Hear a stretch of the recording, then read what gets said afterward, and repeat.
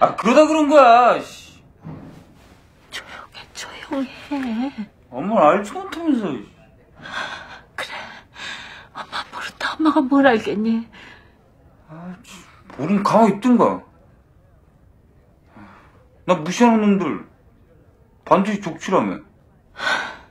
그래 무시하면 작살난다.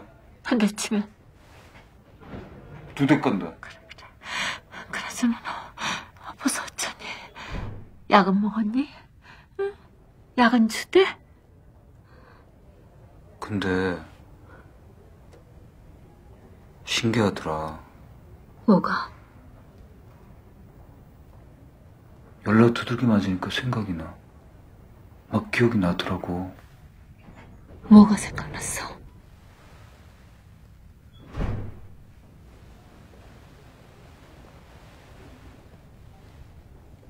중요한 거.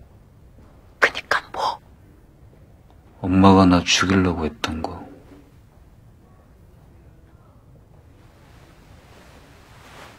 다섯 살 땐 맞지?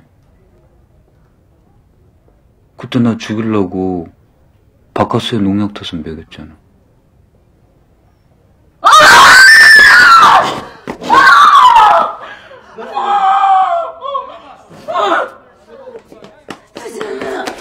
어머니, 어머니, 어머니, 괜찮으세요? 아씨, 쪽팔리게 진짜. 뭐? 네가 어떻게 그걸 기억을 해? 맞잖아, 그때.